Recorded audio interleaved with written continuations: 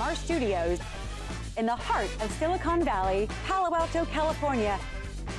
This is a CUBE Conversation. Hey, welcome back everybody. Jeff Frick here with theCUBE. We're in our Palo Alto studios for a CUBE conversation. We're excited to have a, a many time CUBE alumni. He's been at all types of companies. He's moving around. We like to, to keep him close because he's got a great feel for what's going on. And now he's starting a new adventure. Uh, so really happy to welcome Alan Cohen back to the studio. Alan, great to see you. Hey Jeff, how are you? In your new adventure, let's get it right. It's the DCVC, you're a partner. So this is a, I'm on the venture side. I've gone to the dark side. You've gone to the dark side of the Yeah. money side, but It's this is not light a side. new light firm. side of the dark side. Yeah. So what's special about this? Ton of money in venture right now, but you guys kind of have a special thesis. So tell us about it. Yeah, and I think you've spoken to Matt and Zach, uh, you know, my partners in the past. So uh, DCVC has been in the venture business for about a decade. And, um, it, you know, the first five years of the fund was very much focused on building a lot of the infrastructure that we kind of take for granted now, things that have gone into VMware and into Citrix and into AWS, and hence the data collective, the DC Okay. side of DCVC. Really, uh, the focus of the, the, the firm in the last five years and, and going forward is in an area that we call deep tech, which think about more about the intersection of science and engineering. So less about how do you improve the IT infrastructure, but how do you take all this computational power and put it to work in, in specific industries, whether it's addressing supply chains, new forms of manufacturing, new forms of agriculture. So we're starting to see all that, all the stuff that we've built out over Right. the last 20 years and really apply it against kind of industrial transformation.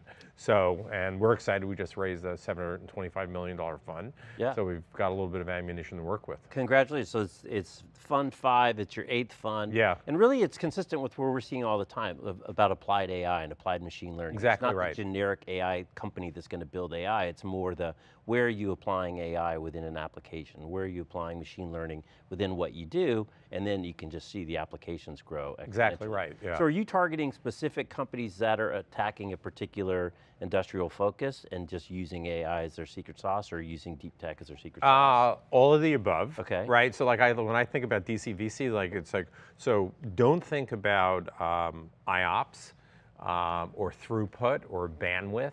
Uh, think about um, um, uh, rockets, robots, microbes, um, building blocks of, of effectively of, of human life Right. and, and of materials, and then applying computational power and AI against um, those areas. Um, so a little bit, uh, you know, different focus. So, you know, it's the intersection of compute, you know, really smart computer science. Right, right. But I'll give you a great example and, uh, of something that would be a little bit different. So we are investors and uh, very active in a company called Pivot Bio, uh, which is not exactly a household name.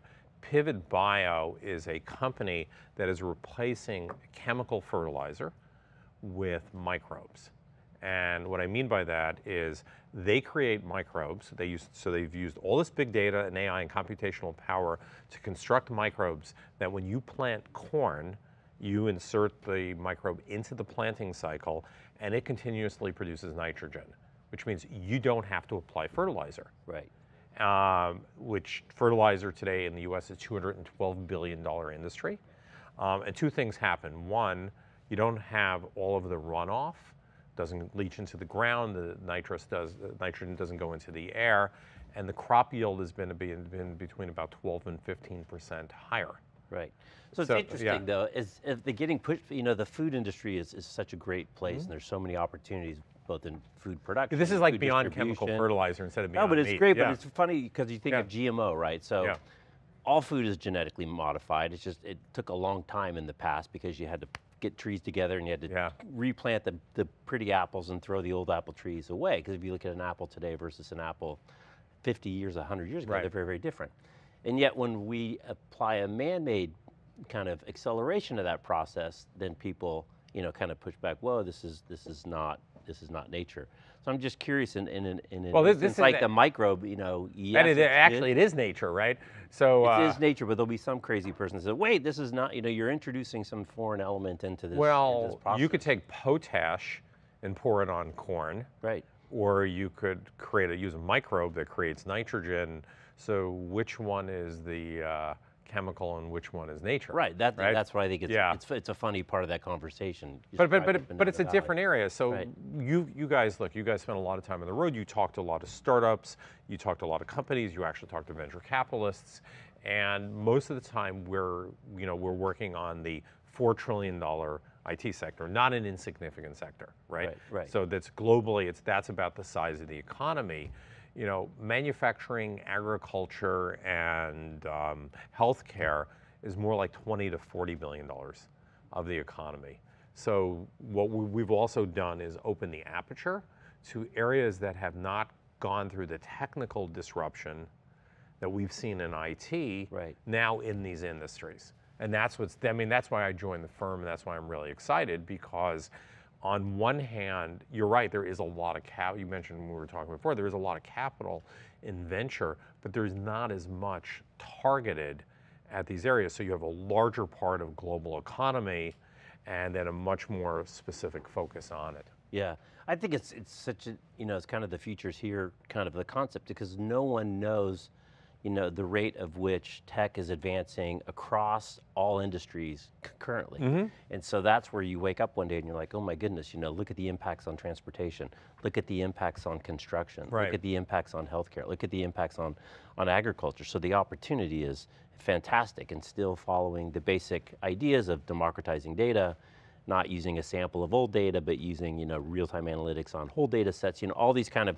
concepts that come over really, really well to a more commercial application than an IT application. Yeah, so Jeff, I'm kind of like looking over your shoulder and I'm looking at Tom Friedman's book, The World is Flat. And, you know, if we think about all of us who've been kind of working on the internet for the last 20 years, we've done some amazing things. Like we've democratized information, right?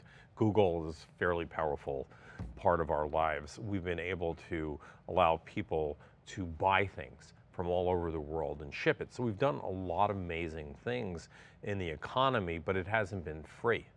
So if I need a 2032 CR2232 battery for my key fob for my phone and I buy it from Amazon and it comes in a big box, well, there's a little bit of a carbon footprint issue that goes with that. So one of our key focuses in DCVC, which I think is very unique, is we think two things can happen is that we can deal with some of the excesses um, of the economy that we've built, um, and as well as you know unlock really large profit pools. At the end of the day, you know it has the word venture, but it also has the word capital Right, in right. it. So we have you know limited partners. They expect returns. We're doing this obviously to, to build large franchises. So this is not um, like this kind of uh, political social thing is that we have large parts of the economy that are not sustainable and i'll give you some examples actually you know jeff bezos put out a pledge um, last week to try to figure out how to turn amazon carbon neutral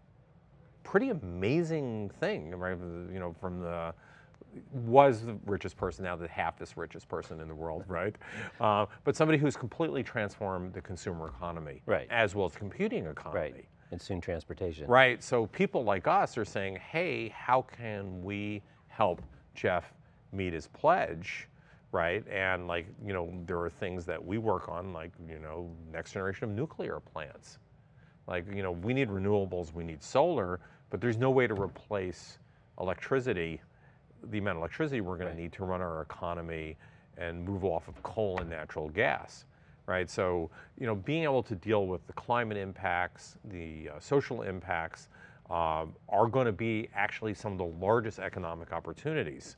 Like you can look at it and say, "Hey, this is a terrible problem. It's ripping people across." I got caught in a traffic jam in San Francisco yesterday, um, up on the top of the hill because there was a climate protest. Right, right. Right, and you know, so I'm I'm not kind of judging the politics of that. We can have a long conversation about that. The question is, how do you deal with these real issues? Right. right. and and obviously, and how do you deal with them profitably and ethically? And I think that's something that's very unique um, about you know DCVC's focus and the ability to raise probably the largest deep tech fund ever to go after it means that you know a lot of people who back us also see the economic opportunity. Right at the end of the day, there you know a lot of our um, our limited partners are pension funds, you know, in universities like you know there was a professor who has a pension fund who's got to retire, right? So a little Right. bit of that money goes into DCVC, so we have a responsibility to provide a return to them as well as go after these very interesting opportunities. So is there any very specific kind of investment thesis or industry focus or, you know, kind of Yeah. subset within, you know, heavy lifting tech, uh, technology and science and math? That's a real loaded question. I'll try to back it a little. So um, we like problems that can be solved through massive computational capabilities. Okay. And so, and that reflects our heritage and where we all came from, right? You and I and folks in the industry. So, you know, we're not working at the intersection of, of lab science at, at a university but we would take something like that and invest in it. So we like, you know, we have a lot of investments in agriculture, in healthcare. Uh, we are surprisingly one of the largest investors in space. Um, we have investments in Rocket Labs, which is the preferred launch vehicle for any small satellite under two and a half kilograms. We are large investors in Planet Labs, which is a constellation of 200 small satellites. Uh, we're investors in Capella Space. So uh, we, you know, we like space, and you know, it's not space for the sake of space. It's like, it's about geospatial intelligence, right? So, you know, Planet Labs is effectively the search engine for the planet Earth, right? I mean, it's effectively Google for the planet Right, Earth. right. right. And all that information could be fed to deal with housing, with transportation, with climate change. Um, it could be used with economic activity, with shipping. So, you know, we like those kinds of areas where that technology can really impact an industry. So, and so we're not limited. Um, but you know, we also have a bio fund, so we, we have you know we like you know we like agriculture instead instead synthetic biology types of investments, and you know we still invest in things like cyber. Um, we invest in physical security. We're investors in Evolv, which is the lead system for dealing with active shooters in venues, as well as Fortem, which is a drone security company. So, um, but they're all built on AI uh, and massive, Massive computation. computational power. I'm just curious, uh, you probably don't have an investment in it, but I'm sure you have a point of view because you got a point of view of most everything on quantum. no, we just hear all this little buzz about quantum. Um, you know, Accenture opened up their new innovation hub in the Salesforce Tower in San Francisco, and they've got this little dedicated kind of quantum computer, quantum computer space. And you know, regardless of how close it is, you know, there's some really interesting computational opportunities slash challenges that we think will come with some period of time So we have quantum and yeah. encryption and I'd love So to we have multiple quantum investments. We're in, uh, one of the lead investors in Rigetti Computing. Okay. um, and in Control Q down in Australia. So no, we like quantum. Now quantum is a emerging area. Like it, it's we're not quite at the x86 level Right, of right. quantum. We have a little bit of work to get there, um, but it offers some amazing. You know, capabilities. One thing that also I think differentiates us, and I was listening um, to what you were saying, is we're not afraid to go long. I mean, a lot of our investments are going to be between seven and 15 years. And I think that's also it's very different. If you follow the basic economics of venture, most funds are expected to be about 10 years Right. old, right? And in the first three or four years, you do the um, bulk of the preliminary investing, and then you have reserves For for additional, you know, you know, the, the big winners emerge, so you can continue to support the companies. Um, some of ours are going to go longer because of what we do, and I think that's something very special. Um, now, look, we'd like to return in the life of the fund, of course. I mean, that's Right, our right. fiduciary responsibility. But I think things like quantum, some of these things in the environment, they're going to take A while. while, and our limited partners want to be in that long ride. Now, we have a thesis that they will actually be bigger economic opportunities. They'll take longer. So, by having a dedicated team, dedicated focus um, in those areas, um, that gives us, I think, a unique advantage. Um, one, one of the things when we were launching the fund that we realized is we, pro- we have more people that have published um, scientific papers and started companies than MBAs um, in the firm. So, it's- so we are a little bit, you know, we're a little geekier that way. That's good. I was at a party one time and I was talking to this guy. Yeah, we're not the best people at parties. No, but it, but Yeah. it's funny. The guy was he was a VC in medical medical tech. And I just Yeah. asked him, like, so are you like a doctor? Did you work at a hospital or you worked at a, at a university that does, you know, I was an investment banker on Wall Street. I'm like, oh, that's, that's so good, you know how to make money move, but, you know, do you have the, do you have the real world experience of being in the trenches where some of these applications are, are, are, are being used? But I'm also curious, where do you guys like to come in? A, B, C, what's your, uh, what's well, your sweet spot? traditionally, we are- have been a seed and Series A investor. We like to be early. Okay, you like the and- lead or follow on? Uh, everybody likes the lead, right? Right, right, right. You know, but Set you have term sheet. You know, uh, yeah, right. And- And you have to learn how to. Sometimes you lead, sometimes you follow. So we, you know, we, we do both. Okay. Uh, there are increasing as because of the size of the fund, we will have the opportunity to be a little bit more multi-stage than we traditionally are known for doing. It's like, for example, we were seed investors in little companies like Confluent and Elastic. That worked out okay, but we were not later stage Right. investors in company like companies like that. Uh, with the new fund, we're more likely to also be in the later stages as well for some of the big bets. But we love seed, we love pre-seed. Uh, we like three guys and a, dog, right? If they have a brilliant, It's tough though to put 750 to work when you're investing in the three guys and a dog, unless it's the Well, one that runs and runs and runs. you know, you we we do things we call experiments. Okay. We'll just you know, uh, we also have a very unique asset. Uh, we don't talk a lot publicly. We have a lot of really brilliant people around the firm that we call equity partners. So there's about 60 leading um, scientists and executives around the world who are also attached to the firm. They actually are have a financial stake in the firm who work with us. That gives us the ability to be early. Now, clearly, if you put in a $250,000 seed investment, you don't put in the same amount of time necessarily Right. As if you just wrote a $12 million check. What's interesting, that's the traditional wisdom. I find we actually work out just as hard on those. and do you have any? Do you have any formal relationships with any academic institutions? How does that work? Well, we, I mean, look, we work like everybody else with Stanford and MIT. I mean, we have uh, many universities who are limited partners in the fund. Um, you know, I'll give you an example of, so we um, helped put together a company in Canada called Element AI, which actually just raised $150 million. And they, the founder of that company is, uh, co-founder, is a fellow named Yoshua Bengio. Um, he was Geoff Hinton's PhD student, him and Eva LeCun. These are the guys who invented neural networking and AI. And this company was built out of Yoshua's position at the University of Montreal. There's 125 um, PhDs in AI that work at this firm. Wow. And so we're obviously deeply involved now Right. with the Montreal AI scene. By the way, Montreal is one of the best AI scenes in the world and cool food. Didn't know that. Oh yeah, and well because of Yoshua, because everybody came out of his Right, lab. right. So I think yes, I think uh, so. You know, we've worked with Carnegie Mellon. We work with, so we, we do work with a lot of universities. I, what I would say is universities work with multiple venture firms. Right. Um, There's so such an important pipeline for really smart, heavy-duty totally. math and tech tech guys. All right. Smarter than me, that's for sure. Yeah.